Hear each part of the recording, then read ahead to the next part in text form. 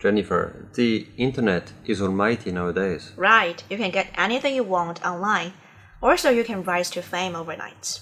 So it's the same case with Albert's store. Yeah, his 煎饼果子 must sell quite well now.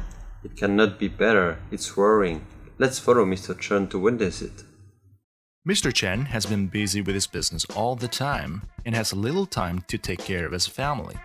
Today, her wife is out for something, and Mr. Chen is asked to look after their daughter.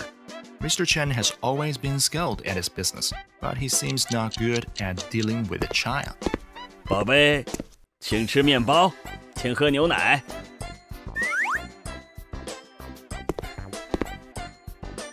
宝贝，请吃面条。怎么没有肉？宝贝，请吃羊肉面条，羊肉很新鲜哦。 如果你不吃早饭，我就去你的学校，告诉你班级的老师和同学，陈鑫在家不乖。爸爸，你没去过我的学校吧？你不知道我的成绩吧？我的班级在哪里？我的老师和同学在哪里？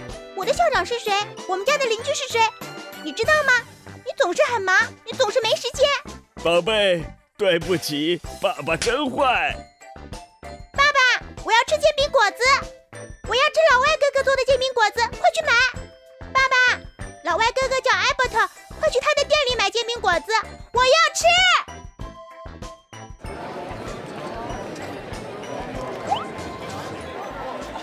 艾伯特，艾伯特，艾伯特。Now let's learn some words and expressions today.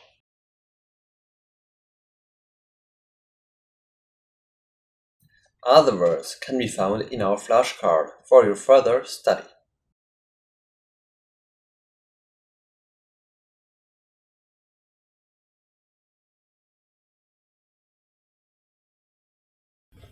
Xinxian is an adjective.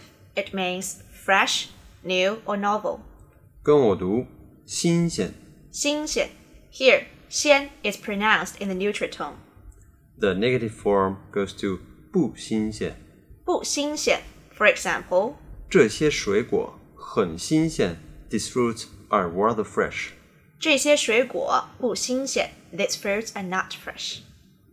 Second, 新鲜 means new or novel. For example, 新鲜事儿，a new thing。有什么新鲜事儿? Is there anything new? 拿 is a verb. It means take or hold.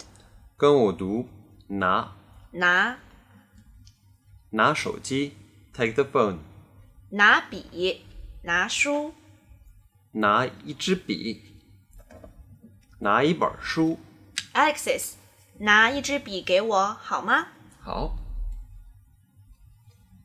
他拿着一支笔。我拿了你的笔。Alexis 我不想当房奴。 You couldn't be anyone's slave, Jennifer. In fact, I will be the bank slave for nearly 20 years, Scott. 为什么 Do you know the reason?